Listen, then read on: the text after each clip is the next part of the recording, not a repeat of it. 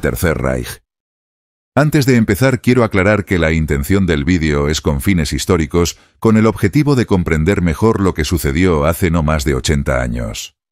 Las entrevistas se realizaron después del conflicto, y en este vídeo aparecen traducidas al español con voces imitando a las distintas entrevistadas. Empezamos con la entrevista realizada a Gudrun Himmler, hija del Reichsführer de las SS. Dicha entrevista fue realizada en 1992 en Múnich. En el momento de la entrevista Gudrun tenía 63 años. Gracias por reunirse conmigo. Me gustaría hacerle algunas preguntas sobre su padre, el Reichsführer Heinrich Himmler, y sus recuerdos del Tercer Reich. ¿Puedo empezar preguntándole qué recuerda de la vida antes de la guerra? La vida era buena, y lo digo en todos los sentidos de la palabra. Aunque no recuerdo nada de la lucha por el poder, ya que nací en 1929, oí muchas historias. Cuando empecé a recordar mi vida, corría el año 1934, y recuerdo a mi padre llegando a casa con su elegante uniforme negro, y yo cogía su gorra y jugaba con ella. Todo lo que recuerdo oír era cuánto mejor le iba a todo el mundo. Oía por casualidad cómo Alemania se sobreponía a mucha desesperación y a una mala economía. La gente que veía era realmente feliz, había sonrisas en todos los sitios a los que iba, y mi padre me llevaba con él en muchos viajes. Recuerdo las multitudes de personas que se acercaban a mi padre para darle las gracias a él y a los demás líderes que le rodeaban por haberles salvado. Era una sensación extraña. Mi padre ocupaba un puesto muy alto en el gobierno del Reich, pero yo sentía, y mi padre lo reforzaba, que éramos parte del pueblo, ni mejores ni peores. Esa era la esencia del nacionalsocialismo. Todo se hacía por el pueblo, para ayudar a mejorar la vida y la felicidad de todos. Aún recuerdo cuando salía a pasear y olía toda la comida gourmet de las tiendas familiares que se alineaban en las calles. Bajo el nacionalsocialismo se animaba a todo el mundo a montar un pequeño negocio o a tener una buena carrera, así que teníamos muchas tiendas donde elegir. A menudo iba con mi madre a comprar ingredientes para platos que cocinaríamos juntos. Se animaba a todas las familias a comer juntas y compartir. La vida que recuerdo en el Reich era organizada, feliz, satisfactoria y llena de esperanza. Hay quienes no están de acuerdo. Dicen que el nacionalsocialismo era odioso, racista, divisivo y pura maldad. ¿Usted no cree que esto sea un hecho? Ni en un millón de años. Eso demuestra lo poderosa que es la propaganda. Hay un libro que me enseñó un americano que se titula La guerra que ganó Hitler y que intentaba demostrar lo eficaz que era la propaganda nazi para lavar el cerebro a las masas para que hicieran cosas malvadas. La verdad es muy distinta. Fueron los aliados los maestros de la propaganda, convenciendo a millones de personas de que una nación y su pueblo deben morir y sufrir, porque son una amenaza para la libertad. El nacionalsocialismo nació debido a que una nación estaba siendo saqueada y aprovechada, y el pueblo carecía de la voluntad adecuada para vivir y luchar por su futuro. El Führer y quienes le rodeaban vieron los problemas, identificaron sus causas y mostraron la solución para resolverlos. La idea de que un pueblo se valga por sí mismo y tome las riendas de su futuro resulta ofensiva para quienes quieren saquear y obtener pingües beneficios de un pueblo al que poco a poco quieren destruir. Amábamos a nuestro pueblo, a nuestra nación y a nuestro Creador, no deseábamos el mal a ningún otro pueblo, pero exigíamos que nos dejaran en paz.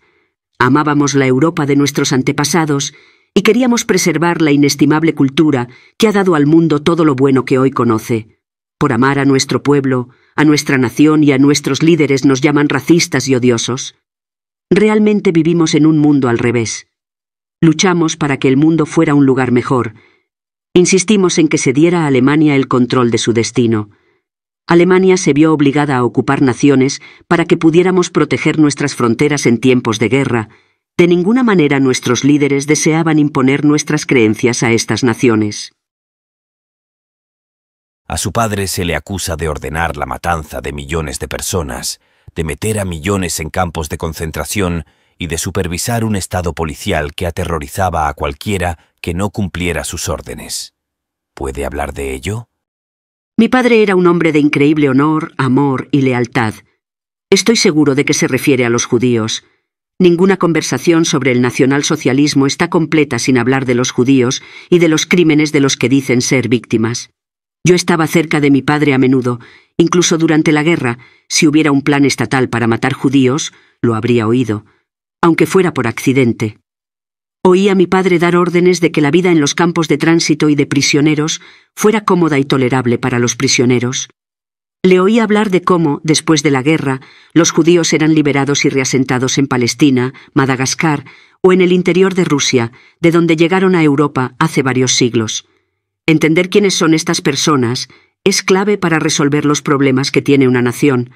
Tienen rasgos raciales distintivos, como el pelo oscuro, la nariz aguileña, las orejas grandes y los ojos saltones, y aunque puedan parecer europeos hasta cierto punto, trabajan para destruir lo que los europeos han construido religiosa y culturalmente. Mi padre era policía, tenía un profundo sentido del bien y del mal, y esperaba que sus hombres cumplieran la ley de manera uniforme. Pronunció un discurso, al que yo asistí, en el que le oí exaltar y reprender a sus agentes por no vigilar con justicia. Todos tenían amigos, y todos tenían al buen judío en el que dudaban a la hora de hacer cumplir las expulsiones a guetos y campos de trabajo. Les dijo que el SD estaba descubriendo tanto espionaje y actividades ilegales, incluso en los buenos judíos, que todos debían ser trasladados a lugares donde pudieran ser mejor vigilados.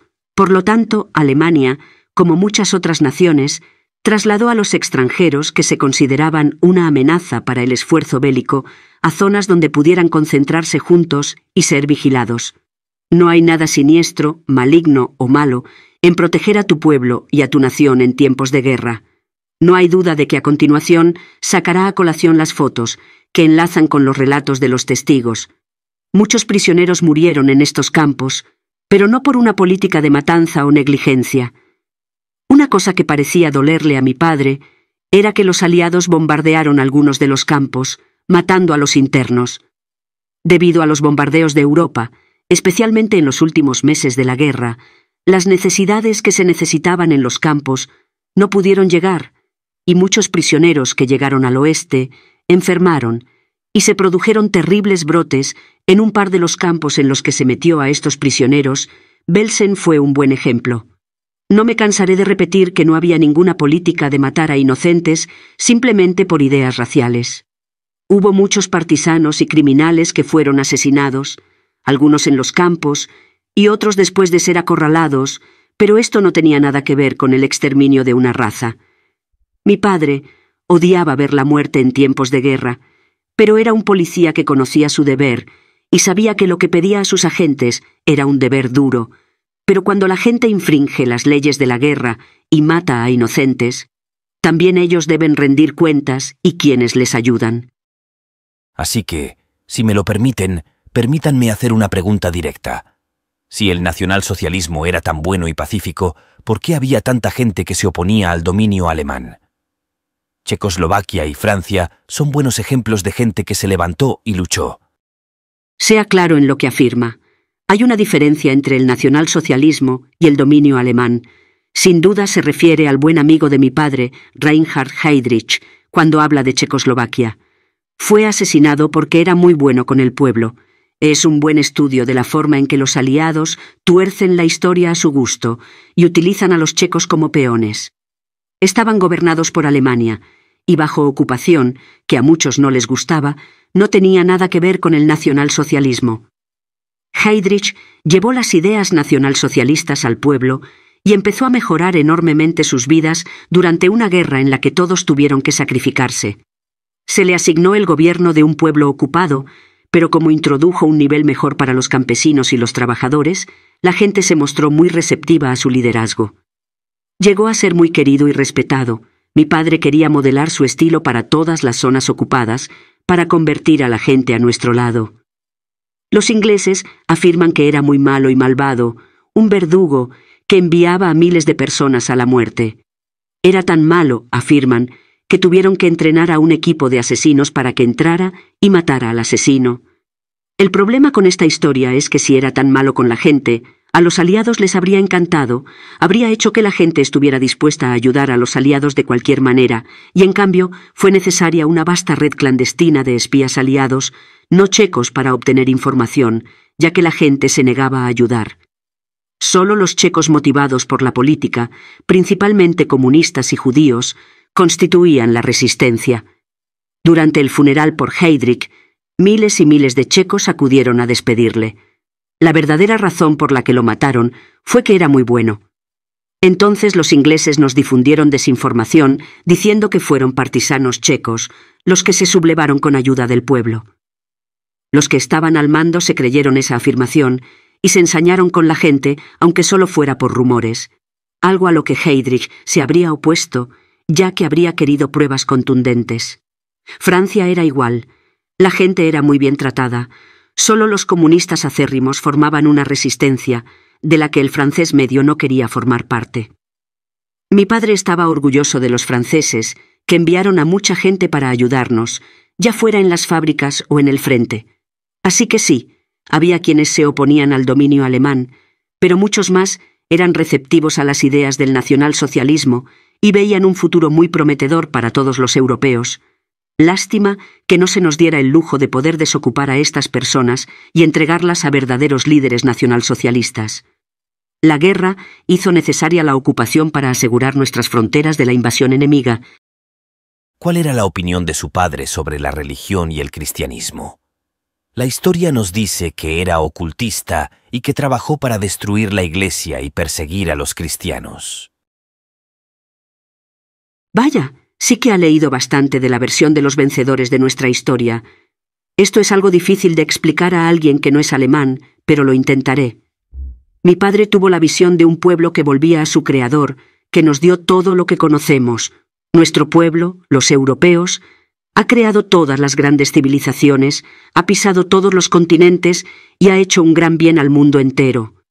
Estamos muy por delante de cualquier otro pueblo, incluidos los avanzados orientales. Mi padre se preguntaba por qué, dónde y cómo.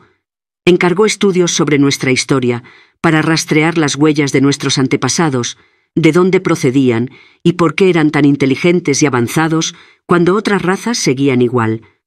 Alemania contaba con algunos de los antropólogos, científicos genéticos, historiadores y personal de apoyo más avanzados para ayudar a encontrar las respuestas a por qué existimos y cómo surgió todo. Mi padre era religioso y nos educó para que también lo fuéramos. Un ser es responsable de la vida. Eso es muy fácil de ver por lo que es, la naturaleza y la belleza de la tierra. La naturaleza lo tiene claro. El problema o la pregunta es quién es. A cada raza se le dio una forma de adorar a su creador. El pueblo europeo encontró un Dios que nos funcionó bien durante dos mil años. La preocupación de mi padre era que en los últimos doscientos años los judíos se han colado en nuestra religión, hasta el punto de trabajar en la traducción de partes de la Biblia para adaptarlas a sus necesidades. Así pudieron convencer a los dirigentes de que la Biblia trata realmente de los judíos y no de los europeos. Solo somos secundarios junto con todos los demás gentiles. Esto no tenía sentido para mi padre, ya que los judíos no han tenido ninguna de las características de un pueblo creativo y trabajador. He conocido a personas de su país que están de acuerdo en que los judíos no pueden ser el pueblo de la Biblia, o que la Biblia es solo para los judíos, que denuncian y odian a Cristo. Nosotros, los europeos, tomamos su nombre. De ahí que toda nación europea sea una nación cristiana. Mi padre no odiaba a la Iglesia ni la perseguía. Con lo que no estaba de acuerdo era con la influencia judía en la Iglesia. En Alemania había algunas sectas que adoraban al judío como único pueblo cercano a Dios.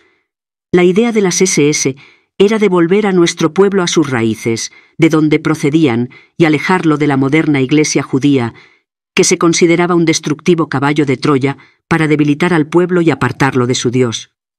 Los cristianos alemanes fueron un buen comienzo, y mi padre asistió a muchos servicios de pastores que comprendían que la influencia judía en la religión cristiana no era buena y conducía a falsas enseñanzas. Por lo tanto, mi padre respetaba a la Iglesia, Muchos oficiales de las SS eran católicos y no deseaba enfadar a los cristianos. Sin embargo, quería que la gente viera otra cara de la Iglesia que no era saludable para el pueblo. Se volvió perezoso, empapado de pensamiento liberal, sugiriendo incluso que los homosexuales deberían estar permitidos en la sociedad y que la raza no importa al creador que creó las razas. Los alemanes siempre hemos venerado nuestra historia. En nuestras antiquísimas catedrales verán imágenes de nuestro pasado germánico, los dioses a los que rezaban nuestros antepasados, y todo ello está ligado a nuestra cosmovisión moderna de la religión. Veneramos a Dios agradeciéndole nuestra historia y honrando a nuestros antepasados, que nos llevaron a la época en la que estamos. ¿Has visto alguna vez un campo de concentración? Sí. En 1941 mi padre me pidió que fuera con él para que viera cómo se las arreglaban los prisioneros en el campo más grande y antiguo de Alemania. Llegamos y nos recibieron los prisioneros junto con el comandante del campo. Me impresionó lo felices que eran los prisioneros. Nos movíamos por el campo sin guardias y los prisioneros nos mostraban lo que hacían día a día. Vi los jardines, los árboles, el hospital, los baños, las habitaciones y las salas de teatro. El comandante se reía de que los prisioneros vivieran mejor que él. Los prisioneros eran muy amistosos. Le pregunté a un hombre que era comunista qué le parecía el campo. Por supuesto dijo que preferiría estar en casa, pero que la vida aquí no era terrible. Esto fue en 1941, cuando se suponía que íbamos a matarlos a todos. Vi el hospital, donde las hierbas que cultivaban los presos se utilizaban para tratar enfermedades y dolencias. Se les animaba a hacer ejercicio, comer sano y trabajar para ser liberados. Vi a un preso que ese día iba a ser liberado, y mi padre presenció la firma de sus formularios. Le dio un consejo que decía, Puede que no nos creyeras ni lucharas por nosotros, pero nosotros creímos en ti y luchamos por ti. Vete con honor y ama a tu país. El prisionero dio las gracias a todos y saludó al Führer al marcharse. Me impresionó lo limpio y ordenado que estaba el complejo del campo. Había miles de prisioneros, pero no había basura ni malos olores, y todo el mundo parecía feliz y sano. Había un par de fábricas cerca para que pudieran conseguir trabajo y ganar un sueldo que podían enviar a casa o utilizar en las tiendas del campo. Me sorprendió lo pocos guardias que había para la gran cantidad de prisioneros. A menudo oía a mi padre hablar de los campos, y estaba muy orgulloso de la organización y la eficacia en el uso de la mano de obra para todo, desde ropa, cultivos y material de guerra, para ayudar con la escasez causada por la guerra. También habló del Este y de la gente que conoció en los campos. Hay una foto suya hablando con un niño ruso, que le dio las gracias por liberar su zona de los soviéticos, le contó que era huérfano porque su familia fue asesinada por los soviéticos en retirada y que quería venir a Alemania. Mi padre se encargó de que viniera al Reich y acabó adoptado por una familia alemana que perdió a su hijo en Polonia. ¿Qué sabía de los Annenerbe, los Wewelsburg y los Lebensborn? Se dice que todos ellos son siniestros y ejemplos de superhombres arios gobernando el mundo. Estuve cerca de muchos de los altos dirigentes de las SS, si no de todos, por lo que podría decirse que sé más sobre la organización que fundó mi padre que la mayoría. No había nada siniestro en ninguna de estas organizaciones. Quiero empezar por el Lebensborn, porque es probablemente la menos conocida, y es un ejemplo perfecto de lo bondadosa y caritativa que era la SS. Se trataba de hogares para las esposas de los hombres de las SS, donde podían tener un hijo en un entorno similar a un centro turístico. También estaba abierto a cualquier mujer que se quedara embarazada, pero no estuviera casada, y cuya familia pudiera haberlo desaprobado. Al final de la guerra, los hogares estaban abiertos a todas las mujeres de Europa que se habían quedado embarazadas de un soldado alemán y necesitaban ayuda. Hubo gente en los países ocupados que llegó a matar a la madre y al niño solo porque había un padre alemán. Estos hogares ofrecían a las mujeres un refugio seguro para prepararse para el parto y quedarse después de dar a luz. Mi padre estaba muy orgulloso de estos hogares que demostraban el amor nacional socialista por la vida y la caridad. Wewelsburg no era más que un centro de retiro e investigación para los hombres de las SS, iban a ser la nueva vanguardia de una repoblación genética de Alemania para compensar las pérdidas de la Primera Guerra y sus secuelas. Los judíos promovieron un pozo negro genético en el que se animaba a todo el mundo a reproducirse, sin importar si tenías algún defecto o no, pero también se animaba a las mujeres sanas a abortar a sus bebés sanos. Esta era su manera de debilitar la reserva genética de una nación y matar a los mejores de los mejores, facilitando su conquista. El concepto de sangre y tierra era una idea de volver a las raíces de nuestros antepasados. Era en esto en lo que se repararía nuestro acervo genético. Wewelsburg se creó para que un miembro de las SS pudiera estudiar todo sobre nuestra historia, nuestra composición genética, que nos hace ser lo que somos, y cómo preservarla.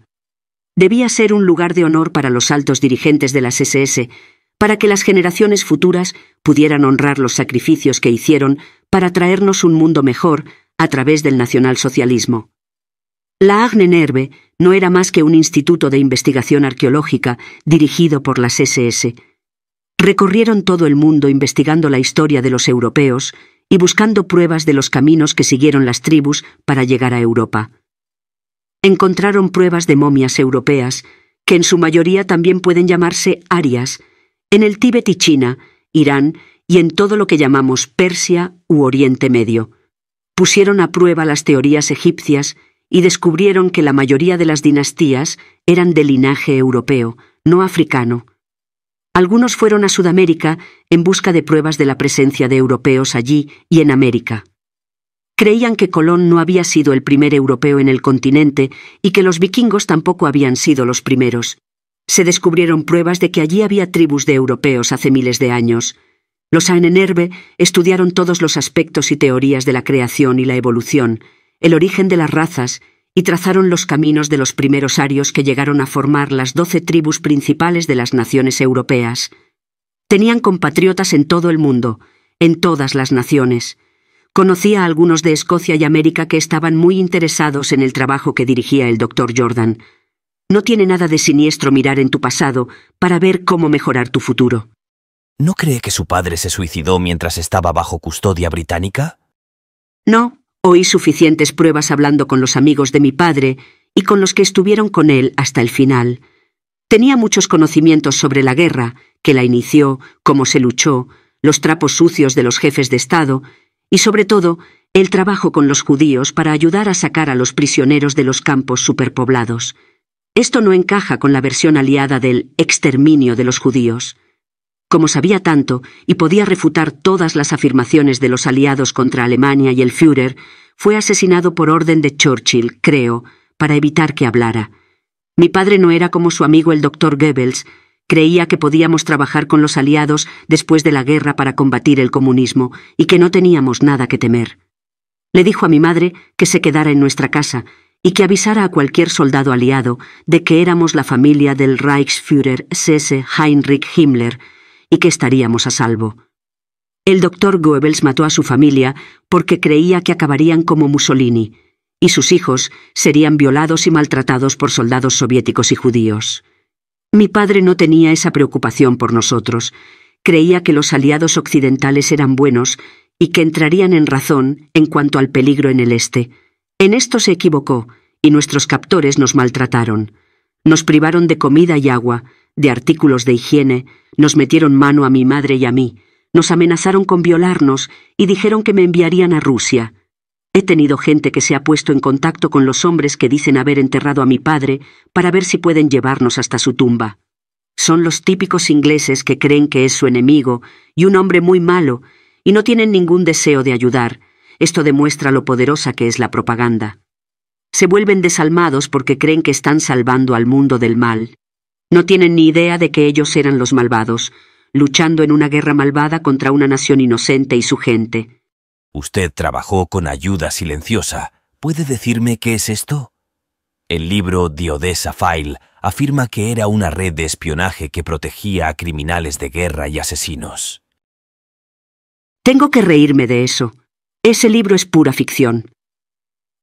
Hilfe era simplemente una organización creada para ayudar a luchar por las pensiones de los antiguos hombres de las SS que sirvieron a su nación en tiempos de guerra. También trabajamos con Otto Skorzeny para ayudar a sacar a la gente de las zonas controladas por los aliados para que no se enfrentaran a la justicia de un tribunal canguro. Los aliados afirman que toda la SS era una organización criminal, que mataba judíos, soldados rendidos, civiles y cualquier otro grupo. Muchos hombres inocentes de las SS fueron asesinados al final de la guerra, y sus familias localizadas y enviadas a campos. Intentamos protegerlos y luchamos para conseguirles dinero. Tuvimos mucho éxito a la hora de conseguir donaciones para ayudarles a mantener a sus familias. Esto tampoco tenía nada de siniestro. Solo ayudábamos y protegíamos a familias falsamente etiquetadas como criminales y acusadas de falsos delitos. El estadounidense Ernest Hemingway incluso se jacta de haber matado a un joven soldado de las SS que se rindió. Me pregunto qué le habrán contado a su madre. Sigo perteneciendo a esta organización y me alegró que su presidente Reagan visitara Bitburg, donde descansan muchos hombres de las SS, para depositar una corona de flores. Murieron luchando por un mundo mejor en el que un hombre sea juzgado por la forma en que cuida de su pueblo y de su futuro en esta tierra. ¿Conoció alguna vez a Hitler y cuál fue su impresión de él? Conocí al Führer muchas veces. Para mí era como un miembro de la familia. Siempre hacía comentarios sobre mi ropa y mi pelo, decía que me comportaba como debe hacerlo una chica alemana, siempre correcta y educada. Siempre que le veía recibía un regalo, ya fuera comida o un libro. Siempre era muy amable y me hablaba como si todo lo que le dijera significara mucho. Tuvimos muchas pequeñas conversaciones sobre la escuela y mis tiempos pasados. El Führer fue un verdadero regalo para el pueblo alemán. Abrió los ojos a un mundo nuevo y mejor que algún día llegará como el ave fénix. El nacionalsocialismo nació de un parto difícil y murió de una muerte ardiente, pero debe suceder así para despertar a más de nuestros hermanos raciales de lo que Alemania tuvo el poder de hacer. ¿Qué opina de los que intentaron matar a Hitler? Son traidores, simple y llanamente. Los aliados ocultaron su implicación e intentaron que pareciera que los nobles alemanes se enfrentaban al mal. Pero la verdad es que los ingleses intentaron muchas veces utilizar plantas en las altas esferas para matar al Führer. La bomba que utilizó Stauffenburg procedía de los ingleses. Mi padre fue clave en el uso de su policía para erradicar a los alemanes que trabajaban para los aliados. Fue necesario el atentado del 20 de julio para ayudar a encontrarlos a todos, y para entonces ya habían hecho muchos contactos. No creía que el mariscal de campo Rommel tuviera nada que ver con los traidores, pero, por desgracia, algunos oficiales habían sido infiltrados. Las mentiras de los aliados quedarán algún día al descubierto, y el mundo sabrá que Alemania tenía razón, y estaba justificada en la conducción de la guerra. Ahora veremos la entrevista realizada a Eda Goring, hija del comandante en jefe de la Luftwaffe. Gracias por dejarme hablar con usted. Me gustaría hacerle algunas preguntas sobre su padre Hermann Göring. ¿Recuerda mucho de su padre? Lamentablemente, mis recuerdos son posteriores a la guerra. Ya que yo era muy joven, nací en 1938 y tenía casi siete años cuando terminó. Me gustaría decir que mi padre era un comandante muy querido, que inspiraba a sus hombres incluso hoy en día. Muchos antiguos camaradas me hablaron después de la guerra y me pidieron que no creyera nada de lo que dijeran los aliados sobre mi padre, Siempre actuó correctamente y sentía un profundo respeto por los demás. Recuerdo que nos quería mucho a mi madre y a mí, siempre nos hacía regalos y nos llevaba de compras por la ciudad, pero no lo recuerdo muy bien. Siempre quería lo mejor para nosotros y nos hacía preparar comidas muy sanas. Siempre me vestía de gala para los invitados importantes que venían a casa. Y si traían a otros niños, íbamos a jugar fuera, a mi casita de juegos que tenía habitaciones y un escenario para disfrazarnos y fingir que hacíamos ópera o bailábamos. Siempre estaba contento y era simpático. Recuerdo que ayudaba a cualquiera que lo necesitara. Siempre hacía donaciones a las organizaciones benéficas y a las causas de las viudas de guerra. Le afectaba mucho cuando se enteraba de la muerte de un camarada o de un soldado caído en el frente. Siempre estaba jovial y de buen humor, incluso cuando era difícil estarlo. Mi padre estaba tan preocupado por nosotros al final de la guerra que nos trasladó a Berchtesgaden para alejarnos de los bombardeos. Disfrutaba jugando en el aire de la montaña, pero echaba de menos nuestro hogar, Karinhal.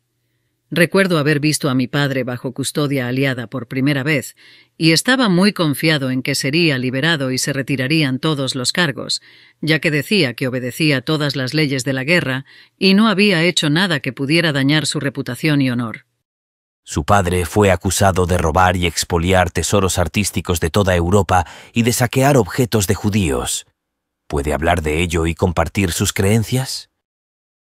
Teniendo en cuenta a quién me dirijo, si le diré la verdad de lo que tratan estas mentiras y calumnias. Mi padre era europeo, amaba la cultura de nuestro pueblo, independientemente de su nacionalidad. Veía talento en todas las naciones y sentía un profundo respeto por el arte y la cultura de todas ellas. Debido a su estatura y prestigio, recibió muchos regalos de personas muy importantes. La afirmación de que mi padre saqueó obras de arte es obscena y una mentira de sus enemigos. La afirmación de que Alemania robó tesoros es igualmente falsa. Recuerdo que en 1943 mi padre habló con algunas personas y les dijo que, debido a los temerarios bombardeos aliados, había que salvar los tesoros de Europa trasladándolos a lugares que fueran seguros. Los aliados bombardearon indiscriminadamente iglesias, escuelas, hospitales y todo lo demás en las ciudades, por lo que fue necesario trasladar cuadros y esculturas a castillos, cuevas y pueblos más pequeños que estaban a salvo.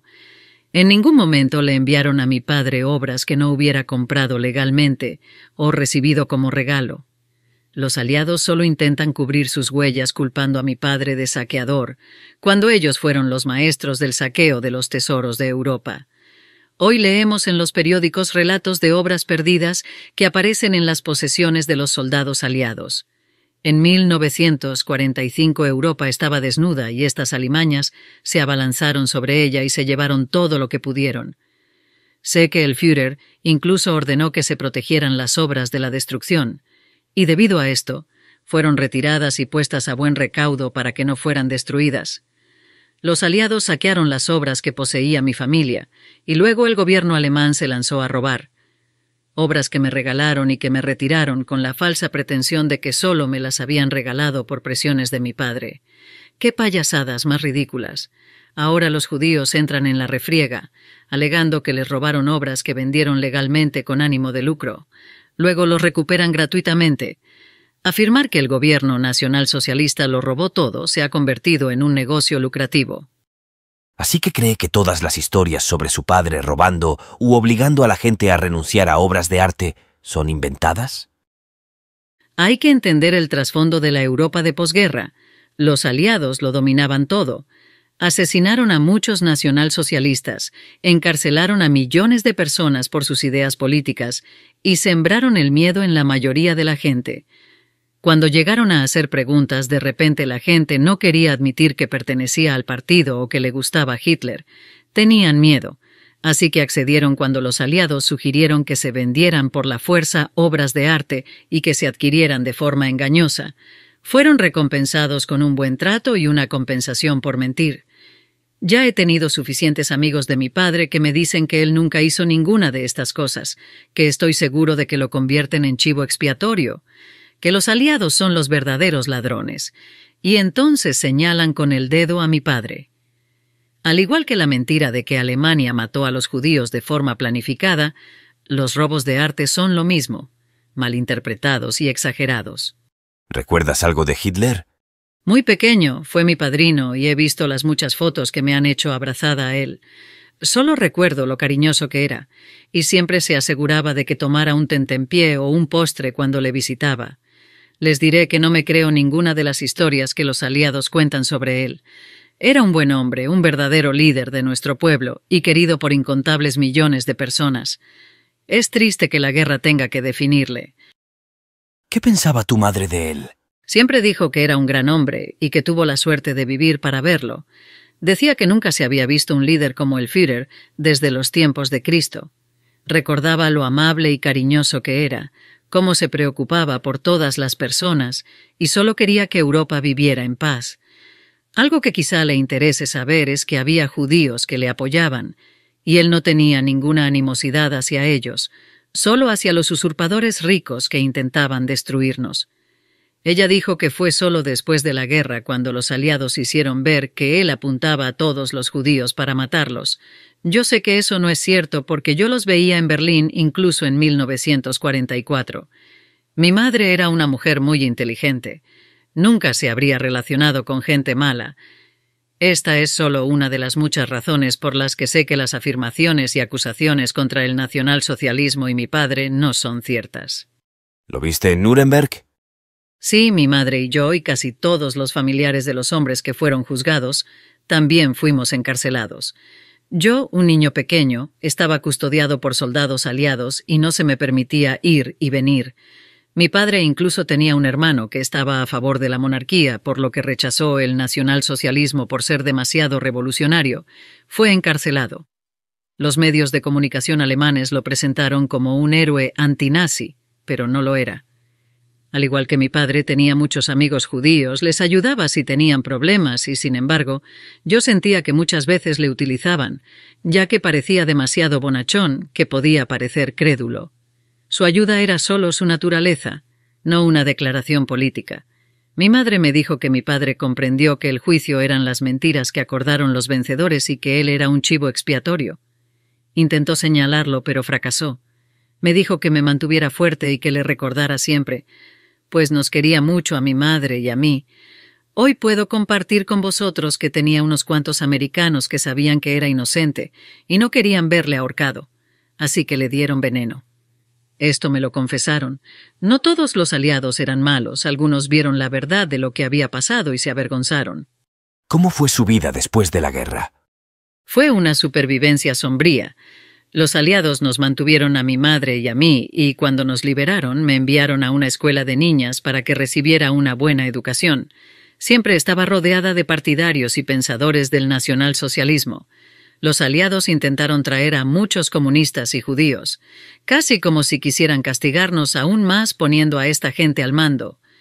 Pude mantenerme alejada de esta gente y terminar la escuela, obteniendo mi título. Muchos amigos de mi padre me buscaron para ofrecerme ayuda y servicios. Me aconsejaron que no hablara con la prensa, pues tergiversarían mis palabras y podría meterme en problemas si decía algo bueno de mi padre o del Führer. Por lo tanto, me he mantenido en silencio, pero es agradable contarle a alguien lo que sé. Algunos miembros de la familia se han creído a pies juntillas lo que los enemigos de Alemania nos han hecho creer. Es demasiado difícil que se diga la verdad, Así que las mentiras de los aliados victoriosos, especialmente los estadounidenses, se vomitan todos los días en los periódicos y en la televisión. Cualquiera que intente decir la verdad en Alemania hoy en día puede perder su pensión, enfrentarse a la cárcel más multas y a la pérdida de su propiedad. Otra razón más por la que sé que Hitler era un buen líder.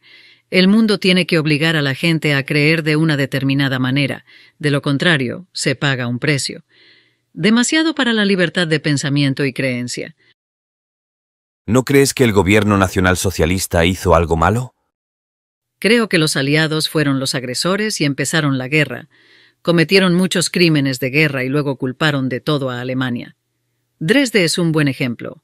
Bombardearon una ciudad que era un centro de refugiados, matando probablemente a un gran número de personas, cosa que se ha ocultado y luego culparon a Hitler como si tuvieran que hacerlo para demostrar que tenían razón y nosotros estábamos equivocados.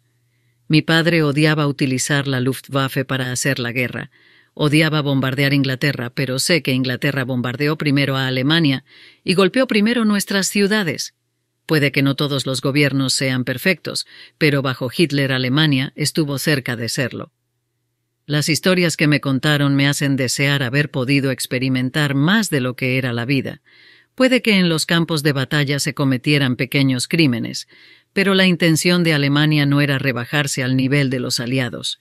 La mayoría de los alemanes que vivieron durante el Tercer Reich darían lo que fuera por volver a aquellos tiempos, sin la guerra. Nunca he oído nada malo de los que lo vivieron. Excepto los comunistas que fueron puestos en campos y agitaban contra el Estado, ellos son la mayor fuerza impulsora de las críticas al Führer hoy en día, todos en posiciones de gran poder y muy ricos. Como ratas, cada vez son más los que salen a decir que fueron víctimas, para poder cobrar dinero y estoy seguro que no fueron víctimas de nada.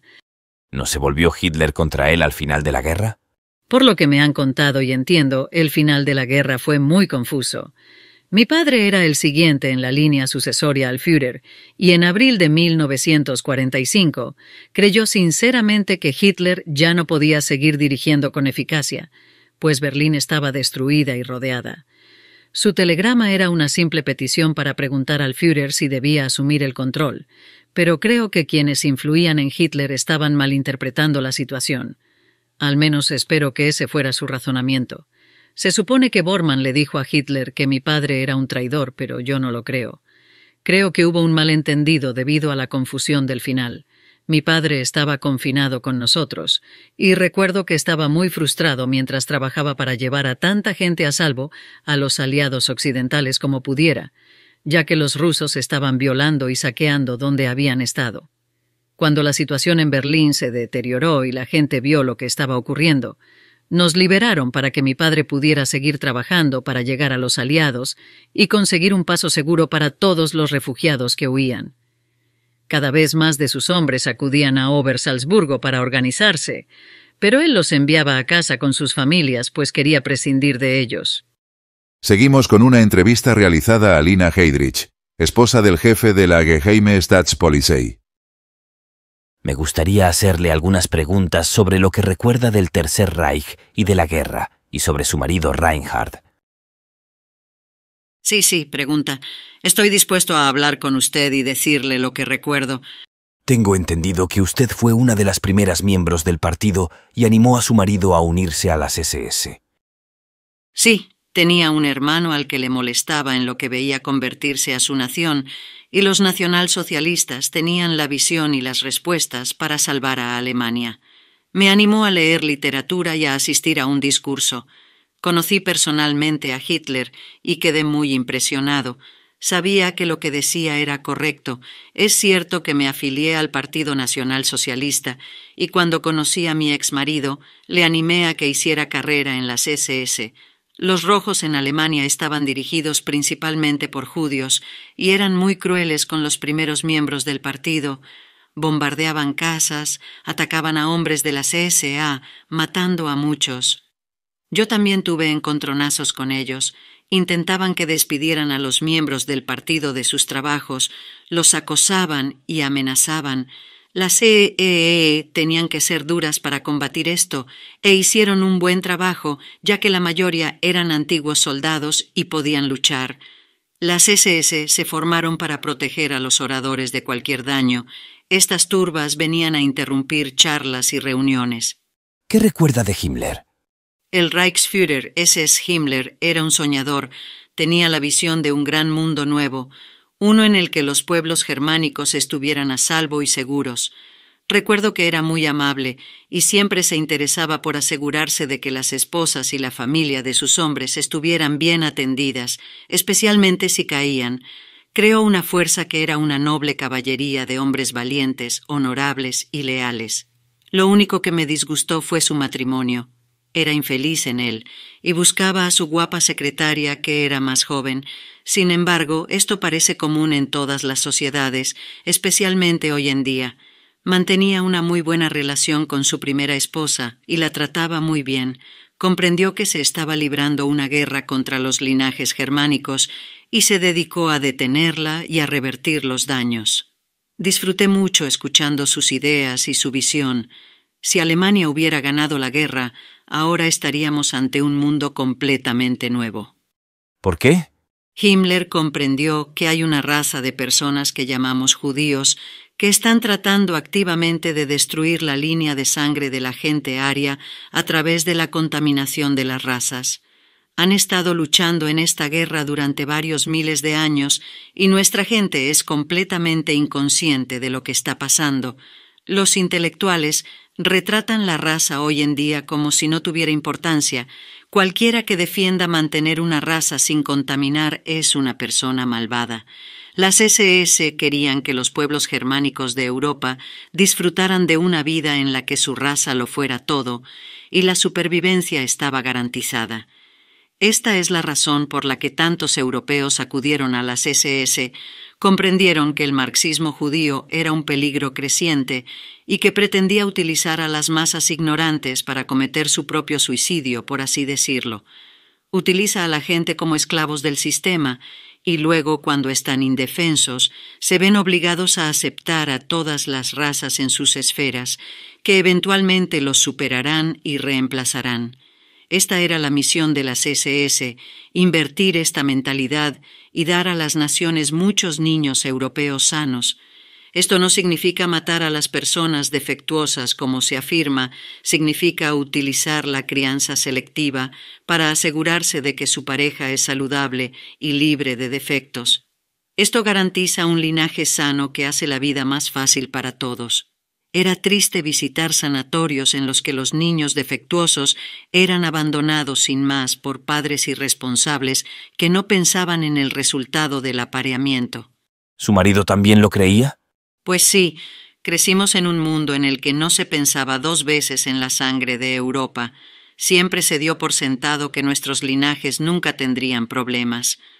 La Primera Guerra demostró que podía ocurrir, y unos pocos hicieron sonar la alarma de que la sangre sagrada de Europa debía ser protegida de las influencias exteriores de los judíos y las hordas que traen a las naciones en las que se asientan. Mi marido lo vio bien y estaba completamente de acuerdo